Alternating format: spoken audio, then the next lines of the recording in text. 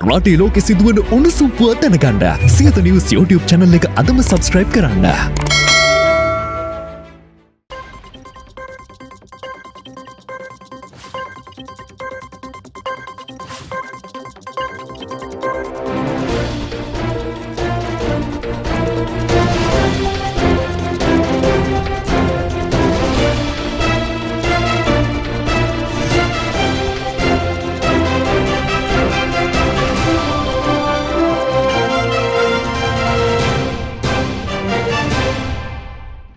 ආයිබෝවන් කාලීන ප්‍රවෘත්ති වාර්තාකරණයේ ප්‍රමුඛයා හරිදේ හරියටම කියන සියත උදෑසන ප්‍රවෘත්ති විකාශයයි මෙලෙසින් ආරම්භ වන්නේ. මම චමුත් සත්‍යපාල ප්‍රථමයෙන් නවධානය පුවත් සිරස්තල වෙත. තෙල් වෘතිය සමිති වෘතිය ක්‍රියාමාර්ගය දැඩි කරයි. ඉන්දන බෙද හැරීමටත් බාධා. ඉන්දන බෙද හැරීමට බාධා කළොත් වැඩ වරදී. කංචනගෙන් රතු එලියක්. සියත ඇතුළු මාධ්‍ය නිදහස වෙනුවෙන් කතා කරන මරික්කාර්. දේශීය ප්‍රවෘත්ති වෙතටයි ප්‍රථමයෙන් නවධානය. කනිජ තෙල් වෘතීය සමිති සිය වෘතීය සමිති අරගලය දැඩි කර තිබෙනවා. ඉල්ලීම් කිහිපයක් මුල් කර ගනිමින් වෘතීය සමිති නියෝජිතයින් සත්‍යග්‍රහයක් පසුගියදා ආරම්භ කළා. ඊයේ දිනේ පැවති සාකච්ඡාවකින් පසු කොළොන්නාව කනිජ තෙල් නිමාවේ සේවකයින් මෙම වෘතීය අරගලය වැඩ වර්ජනයක් දක්වා ගෙන යාමට තීරණය කර තිබෙනවා. මෙනිසා කොළොන්නාව මුදුරාජවෙල සහ සපුගස්කන්ද පිරිපහදුවලින් ඉන්ධන බෙදාහැරීමේ කටයුතුවලට බාධා එල්ල වී ඇති බවයි කනිජතෙල් පොදු සේවක සංගමේ සභහපති අශෝක රංවල ප්‍රකාශ කළේ. කනිජ තෙල් සේවකින් ඉන්ධන බෙදා හැරීමේ කටයුතුරින් සම්පූර්ණයෙන්ම ඉවත් වී තිබෙනවා. ඒ අනුව කොළොන්නාව මුතුරාජ වෙල හා සපුගස්කන්ද තෙල් පිරිපහදු වලින් ඉන්ධන බෙදා හැරීම සම්පූර්ණයෙන්ම නතර කර ඇති බවයි කනිජ තෙල් පොදු සේවක සංගමේ සභාපති අශෝක රංවල සියත අප කළ විමසීමකදී ප්‍රකාශ කළේ. කාංචන අමාත්‍යවරයාගේ ඒ අදූරදර්ශී හිතුවක්කාරී ක්‍රියාපිළිවෙත නිසා khනිජ තෙල් අඩාල කරන්න අපිට පුළුවන්කම ලැබුණා. අපි ඒ පියවරට අවතීර්ණ වුණා. ඒක නිසා අද සත්‍යග්‍රහය නවත්තලා උපවාසය නවත්තලා අපි පටන් ගත්ත අද අකණ්ඩ වැඩවර්ජනයක්. මේ වැඩවර්ජනයේ හෙට තුලත් අපි ක්‍රියාත්මක වෙනවා. අපි බලාපොරොත්තු වෙනවා මේ වැඩවර්ජනයටවත් ඇහුම්කන් දෙයි කියලා. මේ වැඩවර්ජනයට ඇහුම්කන් දුන්නේ නැත්නම් වෘත්තීය සමිති නායක විදියට තීන්දුවක් ගත්තා. අපි සමස්ත මේ රටේ තියෙන අර්ධ රාජ්‍ය ආයතන වල විදියට විදුලිය වරාය ඒකාබද්ධ කරගෙන දැවැන්ත වැඩවර්ජනයකට ප්‍රවිෂ්ඨ වෙන්න. එතෙන්ට අපිව තල්ලු කරන්න එපා. රජබාපුර පාක් කරන්නේ එළියට ගන්න එක කොහොමද? ආජී දානවනේ දාලා. අපිට ඉන්න බෑනේ ඇතුලේ. අපිට ඉතින් තෙල් පටවන්න බෑ කිව්වා. ලොරි අරගෙන එළියට යන්න කිව්වා. අපි ඉතින් මේ ලොරි අරන් එළියට යනවා. ලෝට් නෑ අපි යනවා පාකයට. මොකද තත්ත්වය ඇතුලේ? ඇතුලේ මොනවද නෑ උදේ ඉඳලා හිටිය ලෝට් නෑ ඉතින් අපි යනවා. එකක්වත් ගන්න නෑ නේද? කනිජ තෙල් සේවකින්ගේ වෘත්තීය සමිති ක්‍රියාමාර්ගයත් සමග මේ වන විට පිරෝම්හල් ආශ්‍රිතව පෝලිම් දක්නට ලැබෙනවා.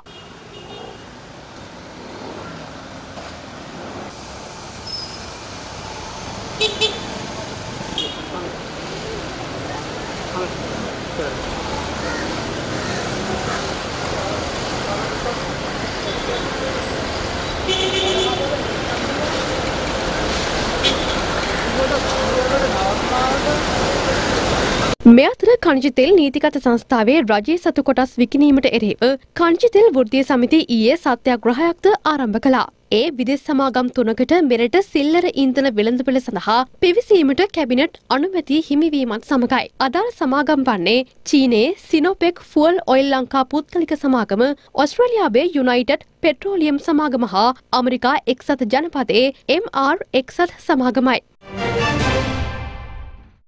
මේ අතර පවතින තත්ත්වය සම්බන්ධයෙන් අමාත්‍ය කංචන විජේසේකර ට්විටර් පණිවිඩයක් නිකුත් කර තිබෙනවා.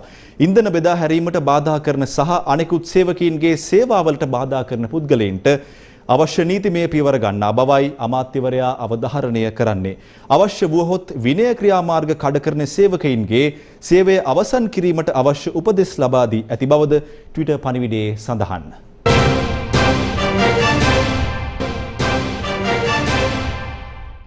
නව ත්‍රස්ත විරෝධී පනත හරහා ජනතා අයිතිවාසිකම් දැඩි ලෙස මර්ධනය කිරීමට සූදානම් වන බවට පාර්ශව රැසකින් චෝදනා එල්ල වනවා. මෙම පනත හරහා මාධ්‍ය සහ මාධ්‍යවේදීන් මර්ධනය කිරීමටද උත්සාහ කරන බවයි පාර්ලිමේන්තු මන්ත්‍රී විජිත හේරත් පෙන්වා දෙන්නේ. ආණ්ඩුව ත්‍රස්ත විරෝධී පනත නොහොත් ඇන්ටි ටෙරරිසම් ඇක්ට් ATA කියන මේ පනත අද ගෙනල්ලා තියෙනවා. අපේ රටේ මාධ්‍ය නිදහස අමු අමුවේ උල්ලංඝනය කිරීමක් මේ පනත හරහා සිද්ධ වෙනවා. මොකද මාධ්‍යවේදී බියවැද්දීමක් වෙනවා. මාධ්‍ය ආයතන බියවැද්දීමක් වෙනවා. ඒ හරහා යම්කිසි මේකට දායකත්ව වීමක් වුණා නම් ඒක ත්‍රස්තවාදී කටයුත්තක්සේ සලකනවා. ජනාධිපතිවරයාට පුළුවන් ඔහුගේ තනි කැමැත්තට ඕනෑම සංවිධානයක් ත්‍රස්තවාදී සංවිධානයක් විදිහට නම් කරන්න. ඉතින් Tamanට විරුද්ධව නැගියන දේශපාලන සංවිධානයක් ත්‍රස්තවාදී සංවිධානයක් විදිහට තහනම් කරා ඒක ඉවත් කිරීම ඔහු සතු බලයක් වෙනවා. IMF යෝජනා ජනතා විරෝධී යෝජනා ක්‍රියාත්මක කරන්න බලහත්කාරය පාවිච්චි කරන්න ගේන්න හදන පනතක් රනිල් වික්‍රමසිංහ තමන්ගේ බලහත්කාරය ක්‍රියාත්මක කරන්න දැනට තියෙන නීති වෙනස් කරලා අලුත් නීති ගෙනල්ලා මේ උත්සාහ කරන්නේ ජනතා විරෝධය යටපත් කරන්න නව ආරකින් මැදිහත් වීමක්. මේ ත්‍රස්ත විරෝධී පනත මේකේ තියෙන මම හිතන්නේ භයානකම කොටස තමයි හෝ යම් අත්‍යවශ්‍ය සේවා හෝ සැපයීම් සමග සම්බන්ධ යම් තීරණාත්මක යටිතල පහසුකමකට හෝ ප්‍රවාහන පහසුකමකට බරපතල බාධා ඇති කිරීම හෝ අලාභාන ඇති සිදු කිරීම හෝ ඒ සඳහා මැදිහත් වීම. දැන් අපි දන්නවා මේ වගේ දෙයක් එළියට දාන්නෙම තියෙන ආර්ථික ප්‍රශ්නත් එක්ක අපේ රටේ ජනතාව එළියට එනවා. එළියට ඇවිල්ලා ඒකට විරෝධතාව ප්‍රකාශ කරන්න උත්සාහ කරනවා. අන්න එතනදී ඉන්න අය යම්කිසි වර්ජනයකට ගියොත් එහෙම රජයට හැකියාවක් තියෙනවා ඒක අත්‍යවශ්‍ය සේවාවක් කියලා ගැසට් එකක් එලියට දාලා ඊට පස්සේ මේ ත්‍රස්ත විරෝධී පනත යටතේ ඒ පුද්ගලයන්ට විරුද්ධව නීතිමය ක්‍රියාමාර්ග ගන්න. අපේ ව්‍යවස්ථාවෙන් අපිට ලැබිලා තියෙන මූලිකම අයිතිවාසිකමක් නේ අපේ තියෙන අදහස් ප්‍රකාශ කිරීමේ අයිතිය. මේ පනත යටතේ සම්පූර්ණයෙන්ම ඒ අයිතිය ත්‍රස්තවාදී ක්‍රියාවක් විදිහට අර්ථ දක්වන්න පුළුවන් වෙන විදිහට තමයි අපිට තේරෙන දේ ලියලා තියෙන්නේ. එතනදී මුද්‍රිත මාධ්‍ය අන්තර්ජාලය මේ හැම දෙයක්මත් එතකට ඇතුළත් කරලා තියෙනවා. කවුරු හරි කෙනෙක් Facebook එකේ පෝස්ට් එකක් දැම්මොත් එහෙම රනිල් ගෝ හෝම් කියලා මේගොල්ලෝ තීරණය කරොත් එහෙම රජය විසින් තීරණය කරොත් එහෙම මේක මහජනතාව බියවැද්දීමක් එහෙම නැත්නම් මහජනතාව කැළඹීමක් කියලා ත්‍රස්තවාදී ක්‍රියාවක් විදිහට අරගෙන මේ පුද්ගලයාව මේ පුද්ගලයාට නීතිය ක්‍රියාත්මක කරන්න පුළුවන්. ඒ අත්අඩංගුවට ගත්තයින් පස්සේ මාස 12ක් යනකම් චෝදනා ගොනු කරන්නේ නැතුව උසාවියක රිමාන්ඩ් භාරය තබා ගන්නත් පුළුවන්. මේ පනත යටතේ අත්අඩංගුවට ගන්නා පුද්ගලයන් රඳවා ගන්නා ස්ථාන ඩිටෙන්ෂන් සෙන්ටර්ස් තීරණය කරන්න පුළුවන් හැකියාවත් ජනාධිපතිවරයාට දීලා තිනවා. ඒ කියන්නේ ඇයි රටක ජනාධිපතිවරයාට ඩිටෙන්ෂන් සෙන්ටර්ස් ගැන තීරණ ගන්න අවශ්‍යතාව තියෙන්නේ? ඊට පස්සේ අර අපි ඉස්සෙල්ලා කිව්වේ අර ඕනෑම අවස්ථාවක මේ මේ අර යම්කිසි පිරිසක් අපිටම රැස් වෙනවා මොනවා හරි දෙයකට. ඒ වගේ දෙයකට ඒ රැස් වෙන අවස්ථාවලදී එහෙම ඒ ස්ථාන තහනම් ස්ථාන විදිහට නම් කරන්නටත් ගැසට් එකක් කරහා ජනාධිපතිවරයාට මේකේ අයිතිය දීලා තියෙනවා.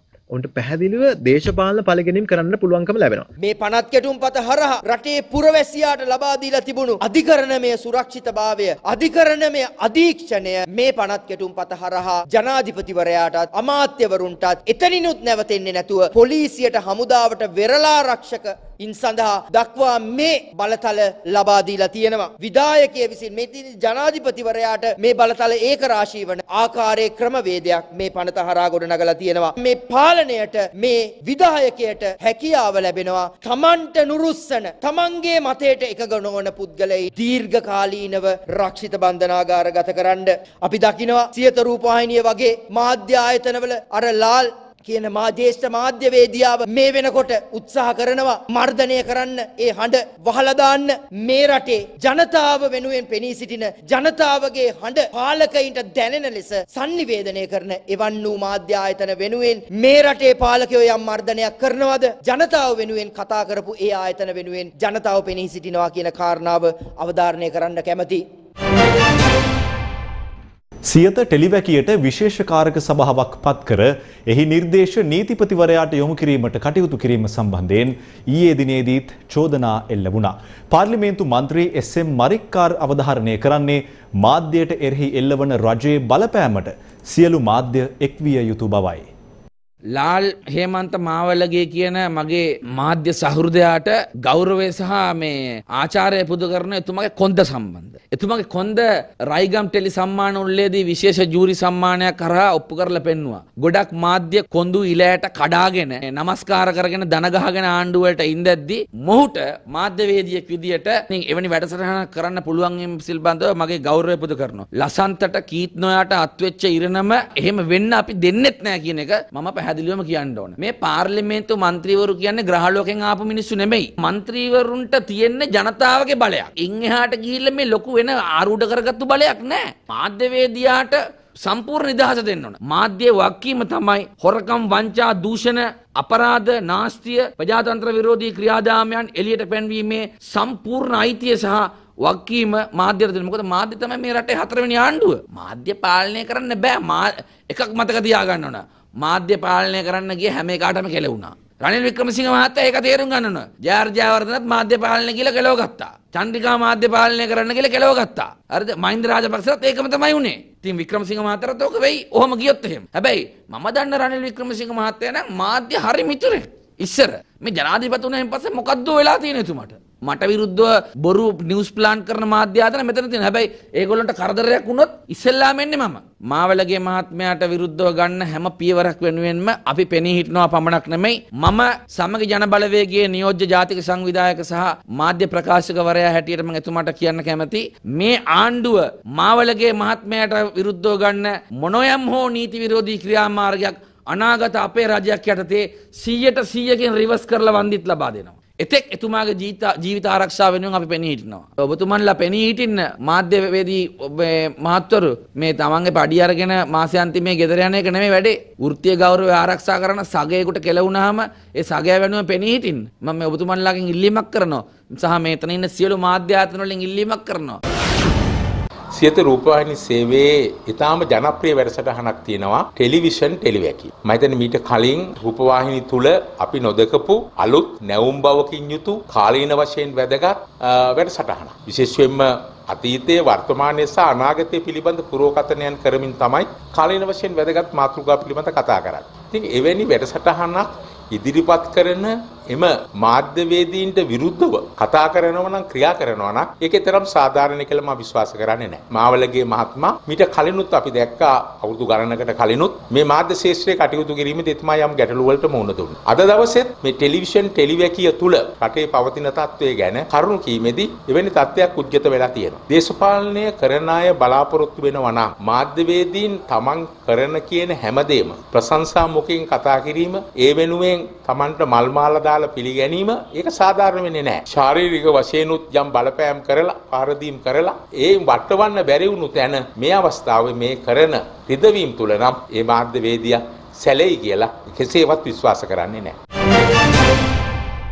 ඒ පොතත් සමගින් සියත උදෑසන ප්‍රවෘත්ති විකාශය නිමාවට පත්වෙනවා යළිත් අප ඔබ හමුවන්නේ අපගේ මධ්‍යහන ප්‍රවෘත්ති විකාශය සමගින් ඔබට සුබ දවසක්.